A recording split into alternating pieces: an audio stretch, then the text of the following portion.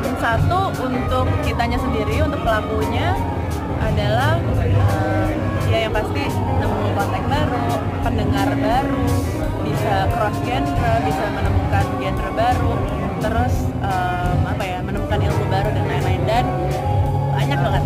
Kalau misalnya buat pendengarnya ya yang pasti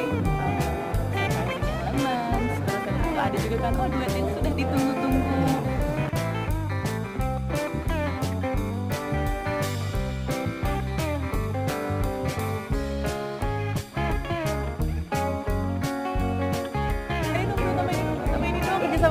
terus akhirnya terwujud um, seneng terus juga mungkin ada lagu yang fresh genre mungkin genre yang baru kayak gitu gitu itu untuk mendengar um, sangat menarik gitu. Karena aku selalu memposisikan diriku sebagai dua-duanya gitu sebagai pelaku dan sebagai penikmat.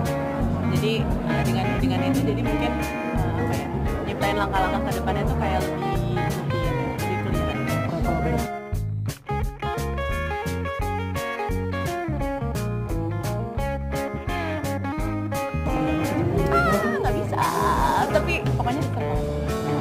kita